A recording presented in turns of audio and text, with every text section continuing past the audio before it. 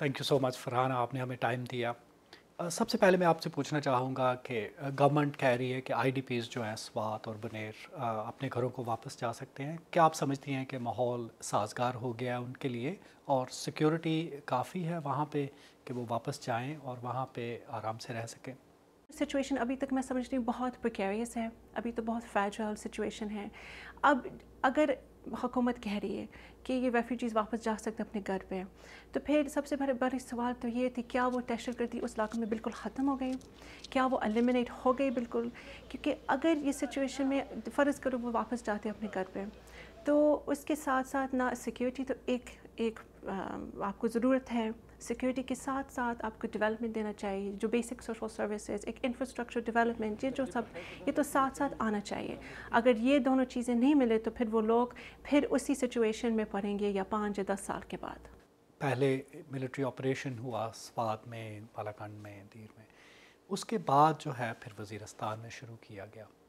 آپ as an expert کیا سمجھتی ہیں؟ کتنی کامیاب ہے یہ اسٹریٹجی یہ اسٹریٹجی یہ اسٹریٹجی صرف پاکستان کے اوپر نہیں ہو سکتی، یہ پاکستان صرف یہ سالو نہیں کر سکتی۔ اس میں بہت سارے انٹرنل اور فورن ایکٹرز بھی ہیں۔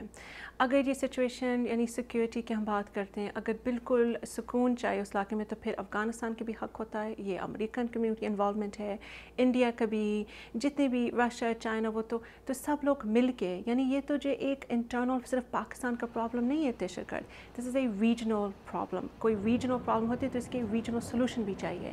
تو اور سب سے جو میں کہتی ہوں، جو انگلش میں کہتے ہیں سکسٹی ملین ڈالر کوشچن تو یہ ہے کہ کب تک لڑیں گے؟ کیا پاکستان فوجیوں کے پاس اتنا ریسورسز ٹولز مین پاور یہ سب ہیں؟ نہیں ہیں۔ But Pakistan needs a cooperation of everyone اکثر لوگ جو ہے وہ سوال کرتے ہیں کہ بیت اللہ مسعود ہے یا دوسرے جو جہادی تنظیمیں ہیں، جو عسکریت پسند ہیں، وہ ان کے پاس بہت فنڈز ہیں۔ یہ فنڈز کہاں سے آتے ہیں؟ اس کے بارے میں کچھ سینس ہمیں دیں گے آپ۔ میں یہ کہہ سکتی ہوں کہ سوال میرے پاس ہے نہیں، نہ شاید کسی کے پاس ہوگا۔ اور جن لوگوں کے پاس یہ ان کے پاس جواب ہے، وہ شاید یہ بات اتنی سینسٹیو بات ہے انٹی کانٹروورشل بات ہے، یہ سب کبھی پبلک میں نہیں آئے گی۔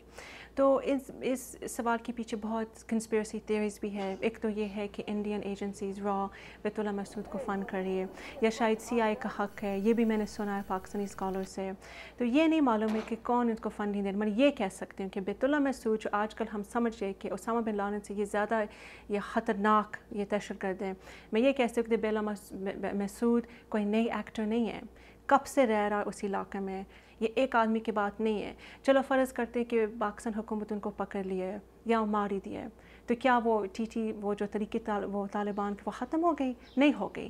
تو اس کے یہ جب ہم ہمیشہ کوئی اسٹریٹجی ہوتی ہے، ہم بس ایک نام، ایک آدمی کے پیچھے پڑ جاتے ہیں۔ مگر یہ صرف یہ جو کیپچر اینڈ کل جو پالیسی ہے نا اس میں یہ تو یہ تو اتنی لمیٹڈ اسٹریٹجی ہے کہ اگر ہاں یہ پالیسی ہم فالو کریں گے تو پھر اس یہ یہ مر جائے گا تو کوئی اور اس کی جگہ پہ لے لے گا۔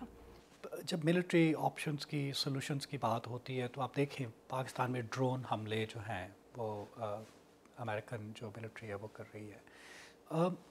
عام ایک تاثر ہے کہ یہ کاؤنٹر پروڈکٹیو ہے آپ کیا سمجھتی ہیں یہاں پہ کوئی ایسی آپ کو فیلنگ مل رہی ہے، کوئی ایسی انڈرسٹینڈنگ مل رہی ہے کہ یہ چینج ہو جائیں گے ڈرون حملے بند ہو جائیں گے؟ کیا دیکھ رہی ہیں؟ اس میں کوئی تبدیلی دیکھ رہی ہیں آپ؟ یہ جو کوشچن ہے، یہ جو بات آپ نے کہا، یہ اتنی سینسٹیو بات ہے۔ اٹس اے کلوزڈ ایشو کہ ہم بات کر نہیں سکتے۔ ہیں اس کا مطلب کیا ہوگا؟ اس کا مطلب یہ ہے کہ جو امریکن جو ایڈمنسٹریشن ہے، ان لوگوں نے ابھی ان کا پالیسی اب چلتی رہے گی۔ کہ ڈرون اٹیکس کریں گے اور یہاں کے جو فوجی لوگ جن میری بھی ان کے کانٹیکٹس ہیں، وہ بھی مانتے ہیں، کہتے ہیں کہ ٹھیک ہے سویلینز مرتے ہیں دیز یہ جو کیجولٹیز ہوتے ہیں it's an unnecessary part of war but یہ تو ہوتا رہے گا۔ ملٹری اسٹریٹجی تو جاری ہے۔ افغانستان میں بھی، پاکستان میں بھی ملٹری آپریشن ہو رہا ہے۔ یونائٹڈ اسٹیٹس کے پاس اور آلٹرنیٹیو سولوشنز کیا ہیں کہ یہ ٹیررزم کے ساتھ نپٹا جائے؟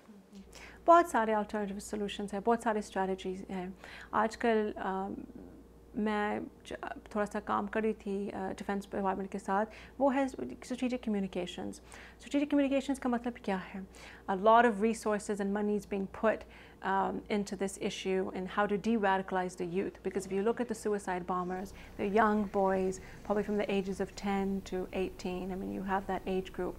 Um, so it's a use of the media the U.S. government is now pushing for a long-term information operations campaign. Thank you so much, Farhana.